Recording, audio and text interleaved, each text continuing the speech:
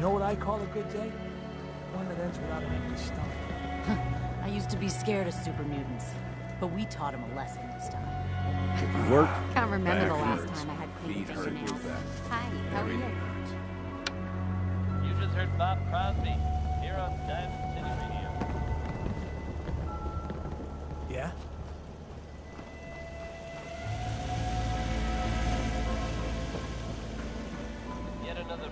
Easy story living, this Diamond ain't. I'll bring you. Diamond City's own Nick Valentine is reportedly hmm. investigating the circumstances surrounding former residents